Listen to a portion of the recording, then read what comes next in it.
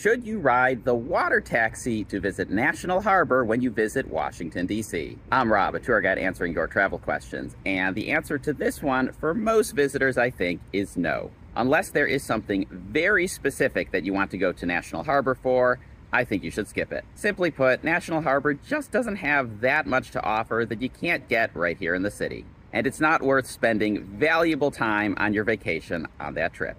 Now, if you want to ride the water taxi for the novelty of riding a boat out on the Potomac River, then I would instead suggest going to Old Town Alexandria. Old Town is a great historic neighborhood that actually has more to offer for visitors, I think, than National Harbor. And you can take the water taxi from right here at the wharf to the Old Town waterfront. So check it out if you're interested, and subscribe for more Washington, D.C. travel tips.